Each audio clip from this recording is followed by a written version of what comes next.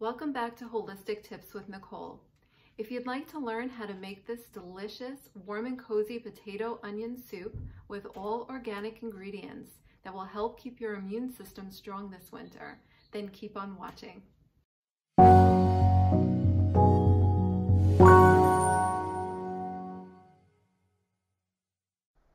So first we're going to start by chopping five medium-sized organic sweet onions. You can chop them any size you want because they'll end up getting pureed at the end anyway. Grab a big bowl and probably a box of tissues because it's a lot of onion. Next we'll chop two organic shallots and add them to the big bowl with the onion. Then we'll peel five small organic potatoes. These are the ones I like to use because they come out nice and creamy.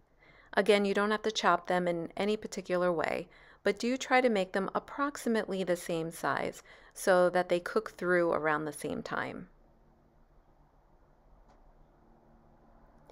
Next we'll add some organic cold pressed extra virgin olive oil to a Dutch oven or big pot and we'll put it on a medium flame.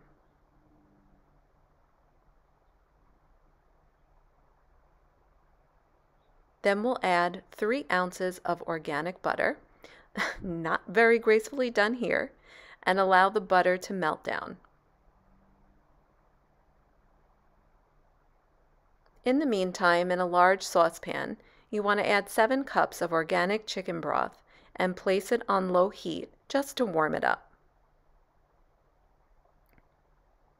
Next, we'll add all the chopped onion and shallots to the olive oil butter mix and cook over medium heat until they're caramelized, about 25 minutes.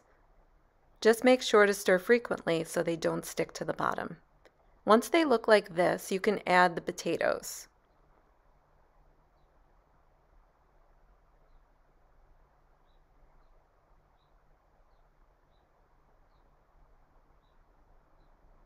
Then we'll add a half a cup of white cooking wine.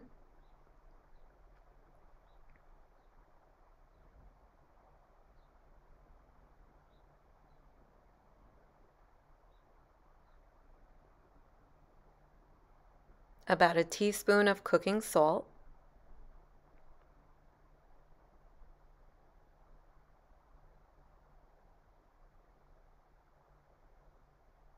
and about a half a teaspoon of black pepper. Then you'll continue to cook for about 10 minutes.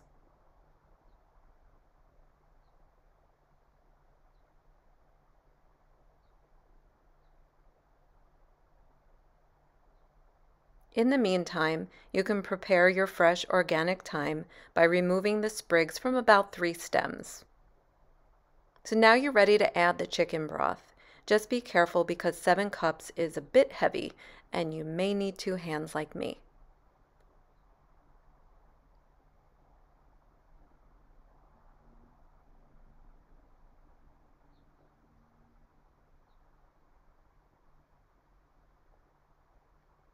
Then you're going to add your fresh organic thyme and cook over medium low heat for about 20 to 25 minutes to cook the potatoes.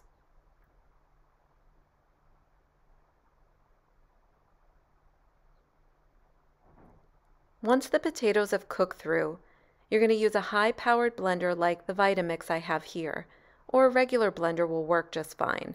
Just keep in mind that you may need to cool off the soup a bit before putting it in a regular blender.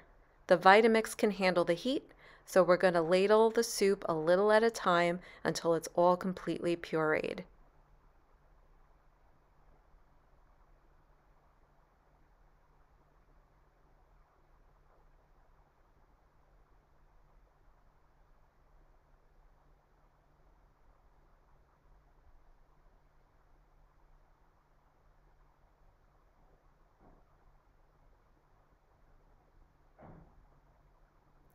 Then you're going to pour the contents into a very large bowl to keep in your fridge so you can enjoy this delicious immune boosting soup for the rest of the week.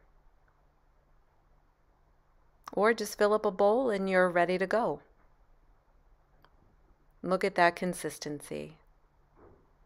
Perfection. Thanks so much for watching this video. Please hit the like button and subscribe if you'd like to continue to see more holistic content. See you next time.